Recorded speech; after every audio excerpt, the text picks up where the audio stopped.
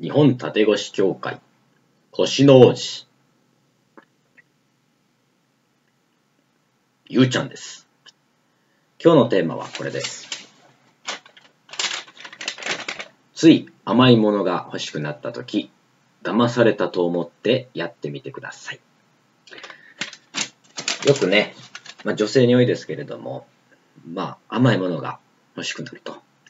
別に食べたい人は食べたらいいんですけども、まあ、ダイエット考えてるとかね、えー、やのに、つい食べたくなってしまう。もう猛烈に、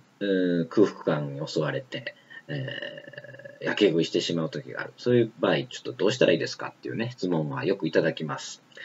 まずね、そういう時っていうのはね、まず頭が疲れてます。脳の疲労ですね。脳が疲労していて、脳に酸素と栄養が十分届いてない。状態になってます。だからこういう時はどうしたらいいかっていうと、頭と体の疲れって分けてちょっと考えてみてください。こういう時はね。うん。頭ばっかり使って、気ばっかり使ってるとそうなりやすいですから、そういう時体は疲れてませんので、えー、体をいっぱい動かして、運動して、体を疲れさすと頭の疲れが取れて、そういう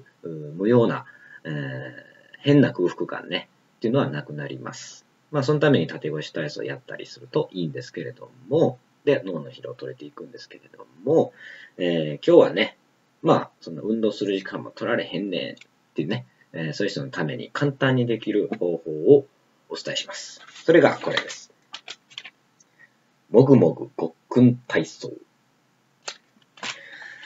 こうやります。口になんか物を含まなくていいんです。含んでいるかのごとく、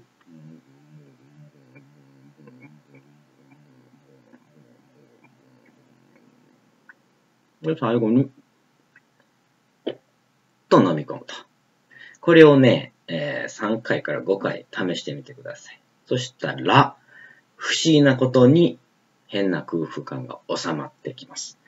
これはね、えー、脳というのは現実とイメージの区別が、現実とイメージの区別がつかないとよく言われますけれど、まさにそうで、これ繰り返してると本当に脳がもぐもぐごっくんとものを食べたと認識して、えー、そういう空腹感なくなってきますんで、ぜひ試してみてください。で、これはね、えー、こう唾をこう飲み込むっていう動作になるんですけど、なるんですけれども、まあ、咳が止まらない時とかね、とか、そういう時にも効きますし、あるいはこの辺を動かしますから、柔らかく動かすので、顎関節症の人とか、えー、噛み締め癖がある人、この辺が力んでしんどいっていう人ね、そういう人にも効果があるので、そういう人も、このもぐもぐごっくん体操を取り組んでみてください。ね、騙されたと思って、騙されたと思わなくてもぜひやってみてください。今日の話は以上です。じゃあね。